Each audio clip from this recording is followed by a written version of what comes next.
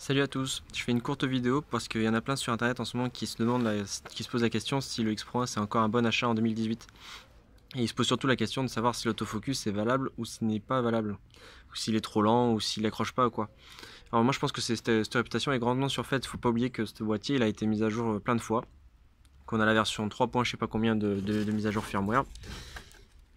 Alors attendez, que je me rappelle comment on fait, oui c'est ça. On fait comme ça, on allume. Donc là, il est en version 3.40. Je crois qu'il y a la version 3.60 et la version 3.80 même qui est sortie. Mais c'est des mises à jour, euh, c'est des mises à jour pour les compatibilités objectifs et surtout, euh, ça fait une mise à jour sur le sur l'OVF. Et les, moi, je l'ai pas faite parce que ça me gêne au niveau des cadres. Ça change un truc au niveau des cadres du viseur optique et, je préfère rester à cette version-là qui est un peu plus vieille. Et donc, je voulais vous faire juste une, vite, une, une démonstration. Bon, il fait plein jour, hein, c'est grand jour dehors.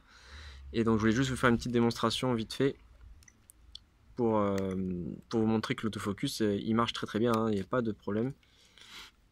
Alors, est-ce que c'est le plus rapide du monde l'autofocus? Non, pas vraiment quand même, faut pas exagérer non plus. Hein, c'est un autofocus d'un boîtier qui a 5 ans.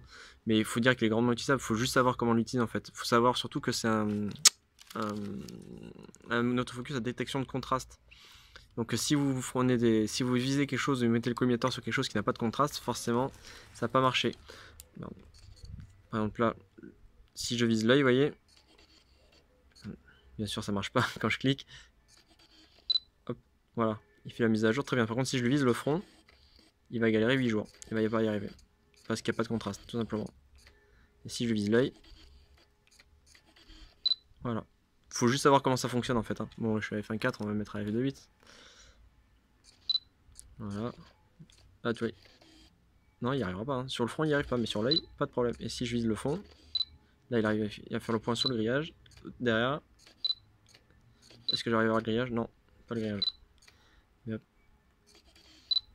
n'y a pas de problème. Hein. Faut juste savoir comment ça fonctionne. effectivement, non, c'est pas. Mais ça met moins d'une demi-seconde, quoi. Faut pas exagérer. Hein. faut savoir que je suis pas en mode macro. Je suis en mode macro. Trop près.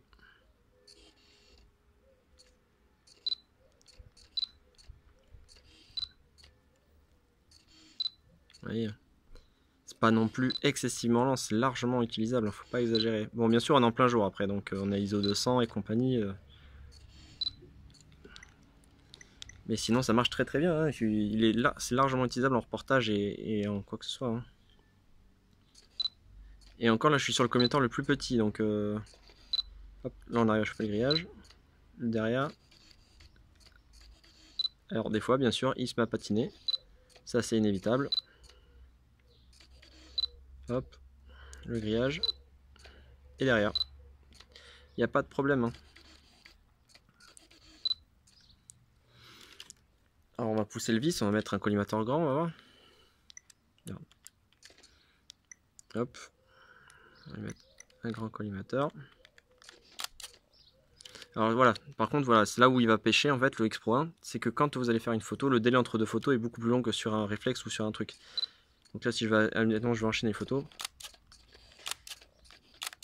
Je vois pas grand chose de ce qui se passe en fait. Mais il fait très bien, il fait très bien la photo. Hein. Et là, vous voyez, euh, là par contre, vu que le collimateur est petit, je pourrais pas choper derrière. Je vais forcément choper le grillage. Hop. Et là, choper je vais choper le derrière.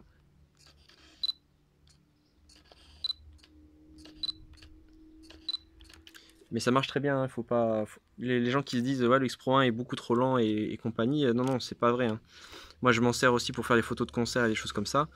Et c'est tout à fait valable, hein. même, en, même en, situation de basse lumière. Euh, regardez le, route il est passé à l'ombre. La lumière a changé, le route est passé à l'ombre, mais il accroche sans problème, il n'y a pas de souci.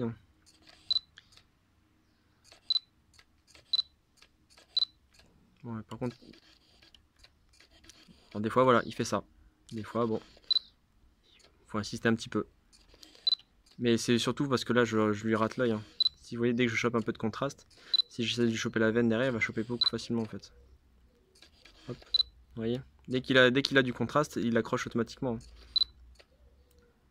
Par contre, si je lui dis, vous voyez, une zone un peu surexposée là, voyez encore, il la chope bien.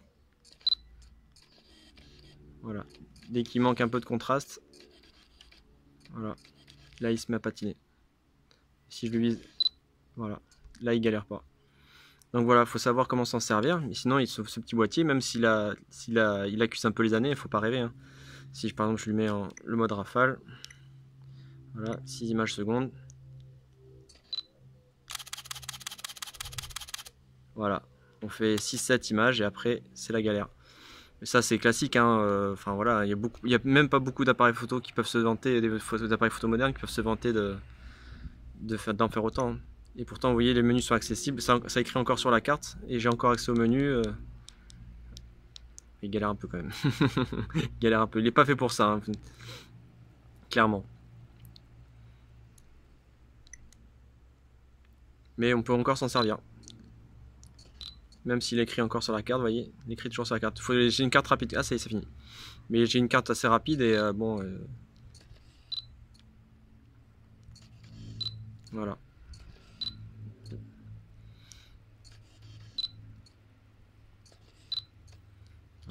je fais le grillage et là derrière. L'œil, le grillage et derrière.